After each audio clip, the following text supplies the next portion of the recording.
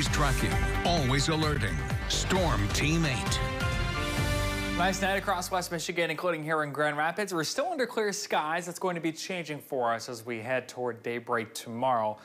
That's ahead of a cold front that's going to be dropping south and bringing the chance for some showers. In the meantime, Storm Track Live is clear, no rain in sight. You have to head up to the UP to find the nearest batch of rain that is associated with the cold front and this is going to be pushing through West Michigan during the midday to afternoon hours tomorrow. Again, that brings a chance for some showers. Really our only rain chance this week. Quiet weather returns beginning on Wednesday along with sunshine looking pleasant right on through Labor Day weekend, along with warming temperatures and some 90s, not entirely out of the question, by the middle of next week.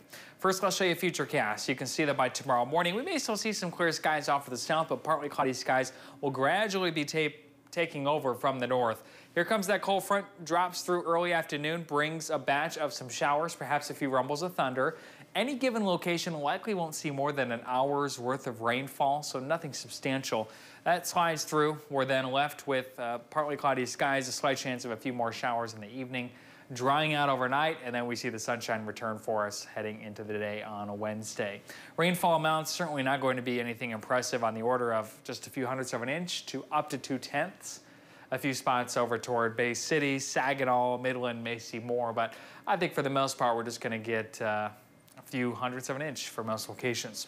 Here's a view out of South Haven Buoy Camp just before sunset tonight. Man, what a gorgeous view there. It's been a while since the lake has been this calm on our cam. It's going to be changing tomorrow. Beach hazard statement in effect for the entire coastline from Tuesday afternoon through Wednesday morning. Waves expected to build to three to six feet.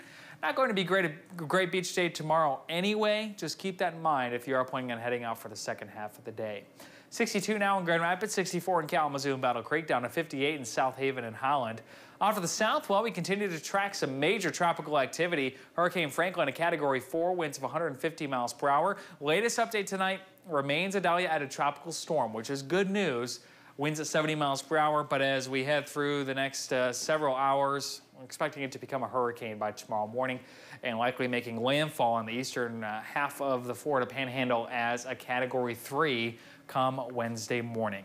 Your eight-day forecast shows high temperatures in the mid-70s tomorrow, down to 70 for Wednesday, but then the warm-up begins. We're at 80 beginning Friday. By Labor Day, we're close to 90, and we're forecasting high of 90 next Tuesday. So really nice stretch of some late summer weather here in West Michigan. Yeah, perfect timing, too, on yeah. that. All right, thanks, Blake.